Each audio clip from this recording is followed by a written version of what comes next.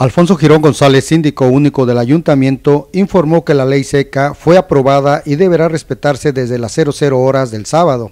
Inicia de acuerdo al artículo 24 de la ley de comercio, 0 eh, horas del día 6 y termina el día 7 eh, a las 24 horas.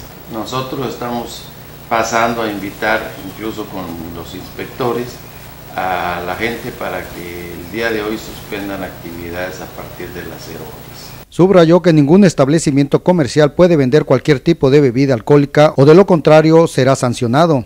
Amonestando y cuando el caso lo amerite, pues con sanciones.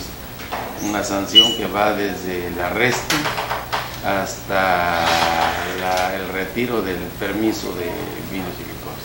Pero no es tanto el, el cobro, sino más bien el que se aplique como debe de ser. Y bueno, pues la idea es precisamente el de que todos como familia acudamos a, dar nuestro voto por quien así lo desee. Para el Mundo TV, Jorge Hernández.